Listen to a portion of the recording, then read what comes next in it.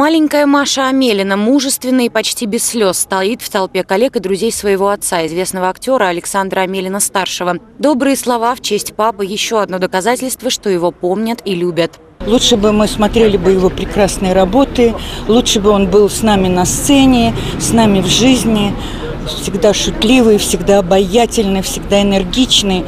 И, конечно, нам его очень не хватает. И я могла бы так сказать, что светлая память ему, и мы его очень-очень любим. Легкая ироничная улыбка, увековеченная на лице актера работа скульптора Карена Саркисова. Воять артистов ему приходится не в первый раз. Вера Иршова, Петр Монастырский – тоже его работы. На предложение Самарского драматического театра сделать мемориальную доску Александру Амелину сразу откликнулся. Личное бы общение не помешало всегда. К тому же он был такой молодой, никто не думал, что так все случится.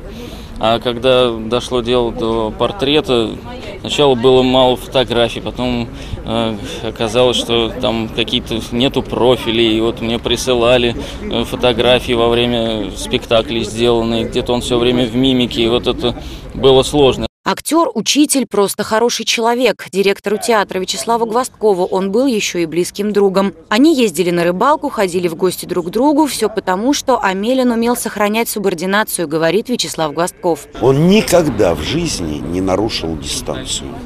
Он никогда в жизни не назвал меня по имени. Он всегда обращался Вячеслав Алексеевич.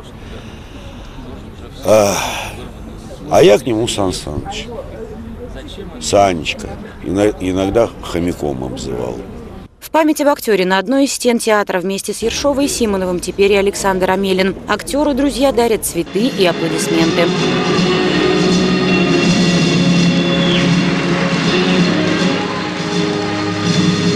Марьяна Мирная, Дмитрий Мешканцов. События.